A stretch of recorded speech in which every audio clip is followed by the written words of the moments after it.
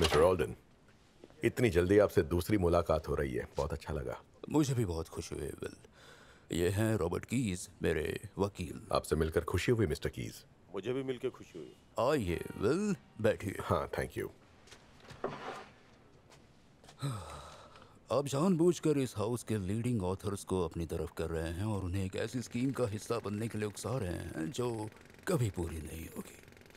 और वो राइटर्स हैं इसीलिए बेवकूफ़ी कर रहे हैं।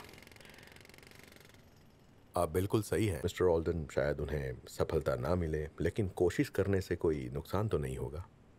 अगर नाकाम भी हुए तो कोई भी पब्लिशर उन्हें ले लेगा। और आप उन्हें सहारा दे रहे हैं? हाँ।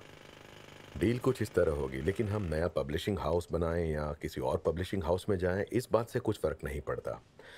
कम से कम सात top rated writers MacLeish house को छोड़ने वाले हैं। क्योंकि उन्हें यहाँ की पॉलिसीज़ पसंद नहीं है और कल सुबह जब मैं प्रेस नोट जारी करूँगा उसके बाद इस हाउस की रेपुटेशन और वैल्यू में भारी गिरावट ज़रूर होगी। ये बात तो पक्की है। तुम तो स्टूवर्ट से भी बड़े कमीने निकले। हाँ पर मुझमें अभी भी ये दो खामियाँ हैं टेस्ट और इंडिविजुअलिटी शायद मैं उन्हें अनदेखा कर सकूँ।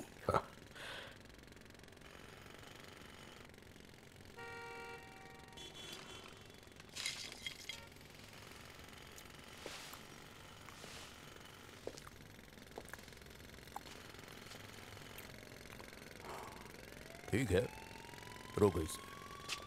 अपनी जॉब रख लो। अगर पता हो तो इतने बड़े कमीने हो तो कभी नहीं निकालता। थैंक यू पर काम शुरू करने से पहले मुझे डील मेमो चाहिए जिसमें मुझे एडिशनल पावर्स और एडिशनल पैसे दिए जाएँगे और ये मुझे कल सुबह तक चाहिए। मुझे मंजूर नहीं है। तुम्हें करना पड़ेगा। मुझे मंजूर है वैसे भी मुझे पब्लिशिंग के बारे में कुछ नहीं पता। मैं स्टूअर्ट को बता दूँगा। नहीं। डील साइन होने तक किसी को कुछ मत बताइए। स्टुअर्ट को मैं खुद बता दूँगा। ओके।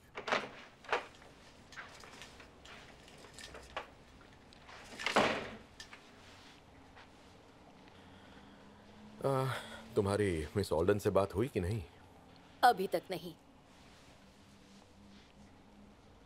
कोई अपॉइंटमेंट्स हैं?